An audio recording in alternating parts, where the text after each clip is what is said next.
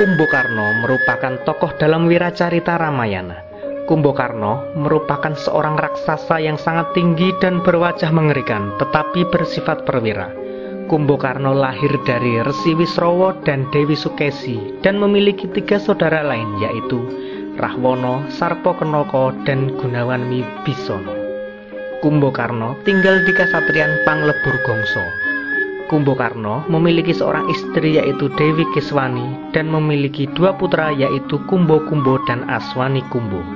Dia sebenarnya tahu bahwa kakaknya salah, tetapi demi membela Alengka, tanah tumpah darahnya, dia pun maju sebagai prajurit melawan serbuan Rama. Kumbokarno sering dilambangkan sebagai perwira pembela tanah tumpah darahnya, karena ia membela Alengka untuk segala kaumnya, bukan untuk Rahwana saja dan ia berperang melawan Rama tanpa rasa permusuhan, hanya semata-mata menjalankan kewajiban.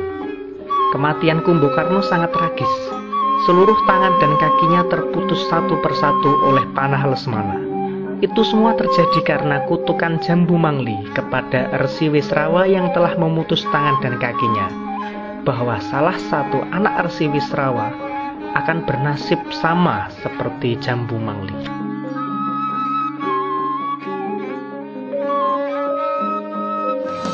एव धर्मः।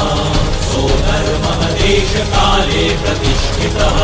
अगानमा हिंसा धर्मो जावस्तिकः स्मृतः अगानमा हिंसा धर्मो जावस्तिकः स्मृतः